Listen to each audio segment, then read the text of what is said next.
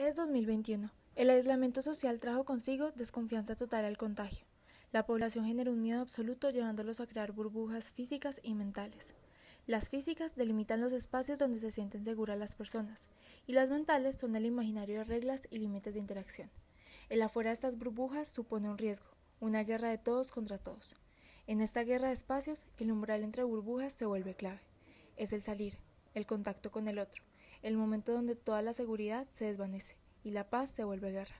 Sin embargo, el umbral también permite que las personas se encuentren en un espacio de colisión de mundos, donde el pensamiento de cuidado individual se transforma a un pensamiento colectivo. A pesar del riesgo que simboliza el umbral, se toma un salto basado en confianza, que permite la habitación nuevamente de espacios públicos, liderado por la conciencia y empatía. El miedo es derrotado por el acto de cuidado activo y colectivo, y el paradigma cambia por completo.